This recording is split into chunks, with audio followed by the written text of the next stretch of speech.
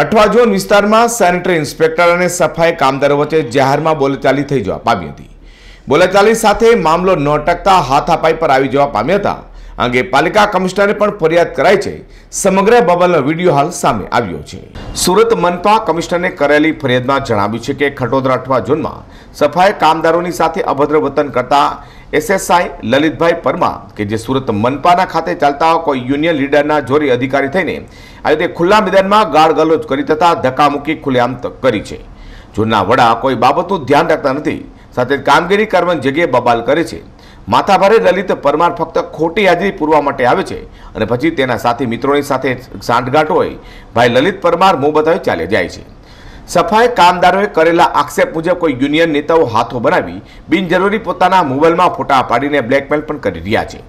કાયદાકીય જોગવાઈઓ મુજબ ખોટી રીતે યુનિયનના નામથી ડરાવી ધમકાવીને સુરત મહાનગરપાલિકા ખાતે ગરીબ કામદાર કે જેઓ બહારથી આવીને નોકરી કરવા આવતા હોય છે તેઓ સોંપવામાં આવેલા કામગીરી કરી રહ્યા હોય છતાં આ લલિત પરમાર ખોટી દાદાગીરીથી કામદારો પર ખોટો દબાણ કરી રહી હોવાની ફરિયાદ જીભાઈ વસાવા દ્વારા કરવામાં આવી છે. Azhar Qureshi G twenty